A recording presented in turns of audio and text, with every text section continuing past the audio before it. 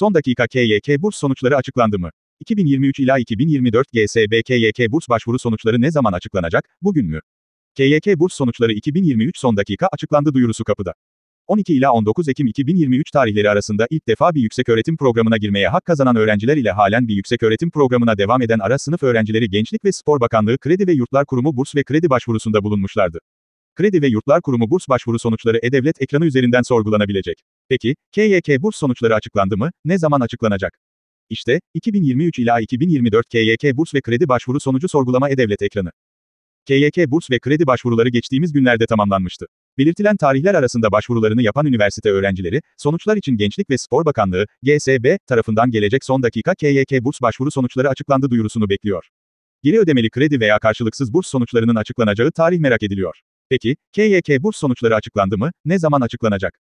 KYK bursu ne kadar, kaç TL?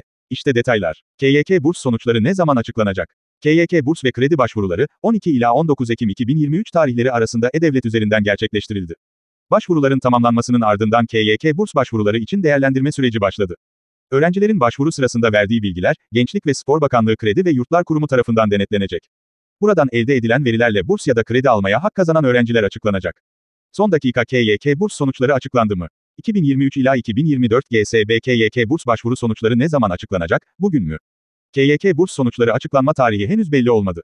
Geçtiğimiz yıl KYK burs başvuru işlemleri Kasım ayında başlamış ve sonuçlar ise 16 Aralık'ta açıklanmıştı.